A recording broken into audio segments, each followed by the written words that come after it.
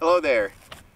We're near the top of Hughes Mountain in Missouri, just south of Potosi a ways, with a beautiful view of Arcadia Valley. Well, actually, when we get to the top, we'll have a 360 degree view from the top of this mountain. So we have all of these rhyolite columns that were formed by uh, volcanic activity. Once it all cooled, they cracked into columns. There are only four locations in the world that have this. It, this is called the Devil's Honeycomb here in Missouri. So we have this site, and I have to look up the other three. Three of them are in our country. Uh, we have the uh, Devil's Tower National Monument in Wyoming, the Devil's Postpile National Monument in California, and we have the Giant's Causeway in Northern Ireland. Ireland, sorry. Kind of interesting, the devil really gets tagged with this quite a bit. Let's take a look around.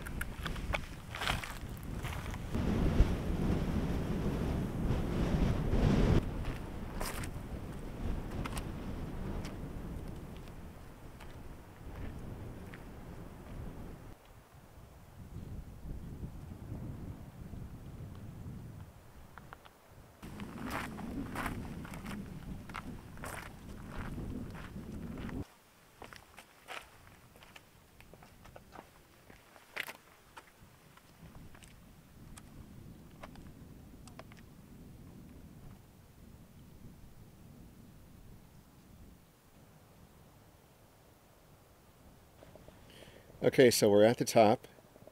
And I'm going to give you a 360.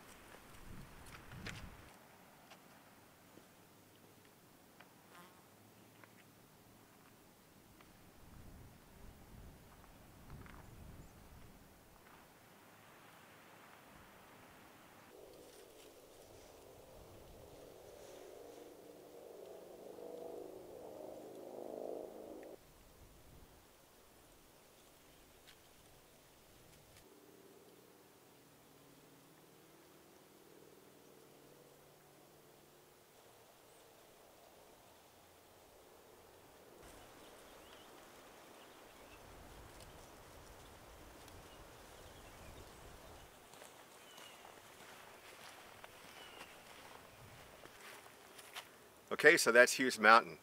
It's a little under two miles up and back, but you could spend the day exploring the mountaintop, add quite a bit of miles to that. Great place for a picnic lunch, and you're looking westward across that broad open area across the Arcadia Valley, which gives you a beautiful sunset in the evening.